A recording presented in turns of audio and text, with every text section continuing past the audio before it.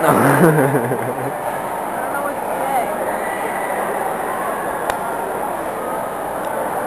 How do you zoom? Never mind.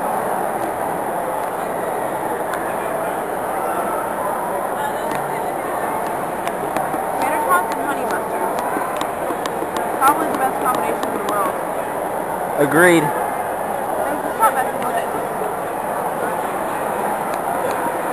And It's not messing with it. Dr. Pepper.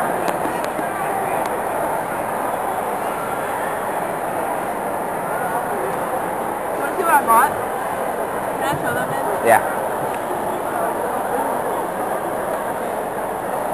I bought this. I was only going to get this right here, the primer, but the primer was $30 and this kit was 54 and it comes with all of this. Right, man. That's right. He picked it out for me. He was like, hey, you need to get the kit. And I was like, um, you're still married to material. You want me to spend more money on makeup? Awesome. And what else? What else did I get? If I it, that'd be fantastic. Well, babe, Okay. I got purple eyeshadow in Midnight Kiss. Stop. No, I was making. I just making it cooler for the people at home. It's not cool. And then show them the blue and the white.